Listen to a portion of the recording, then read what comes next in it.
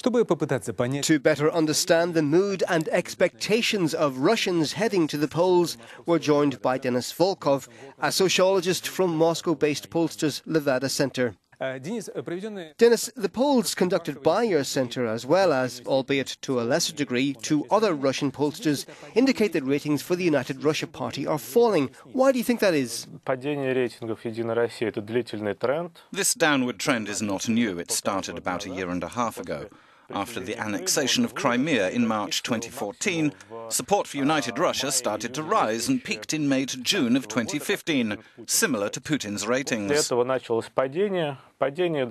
After this, they started to slide, slowly but surely. Only for united Russia, Putin's personal rating is still very high. By mid 2015, it stood at 50% of all respondents, including undecided voters. Then it slid to around 40% by spring 2016 and now it's around 30%.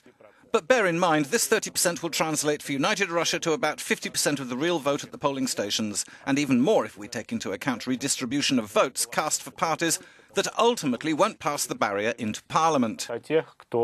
Ну, как бы, а- от тех партий, которые не преодолеют барьер. в комментариях Among the reasons for this slide, observers cite the unpopular decision not to index link pensions to inflation and the number of new parties allowed to take part. This drags attention away from the four main parliamentary factions. Do you see these as decisive factors? скажем так, э, что из этого кажется вам справедливым и э, действительно оказывающим свое влияние? Отчасти все это верно, но мне кажется, э, Partly all that is true, but I think this slide is mostly driven by the normalization, by cooling down of emotions after the Crimean enthusiasm started to wane.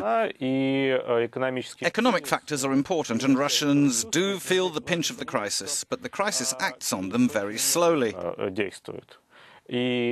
People are slow to realize or feel personally its effects, and then they adapt quickly адаптируются. А Появление новых партий, ну, по- New parties, yes, but most of them are unknown to the larger electorate. Yes, they dilute the lists a bit and will steal a bit of support from United Russia, but I repeat, a decline in ratings is mostly driven by the long term global trend of a ruling party simply losing its popularity. важен, более ва- важен это вот долгосрочный тренд на э, падение популярности.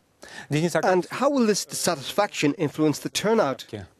как- Ну, э, на явке, опять же, мне кажется, больше скажется перенос выборов. I think the turnout will be influenced more by the fact that the election was moved from December to September. People are still going to the countryside at the weekend, and the campaign in the summer passed largely unseen. In December, the turnout is traditionally high, but in September, it's not. It's hard to give an exact prediction, but it will be less. And there's less general interest towards this vote. You aren't hearing people debating it on their commute, they're not discussing it. I think public opinion's being drawn away from this election. Maybe the authorities are interested in a smaller turnout. That way, only highly disciplined voters will come, those who vote not so much to express their view and influence the state assembly, but out of habit as a civic duty because it has to be done. And finally, what will be the dominant trend? Desire to change or apathy? I think apathy, but new liberal parties are to blame here too because they virtually haven't run any real campaign in big cities where their main electorate lives. So my main qualm with them and even from their supporters is that they're invisible, that people can't see the changes within those parties, that those parties appear just as they were before the election.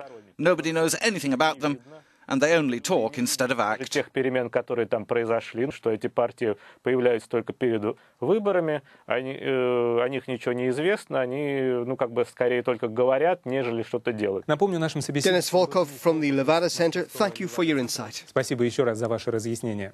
Спасибо.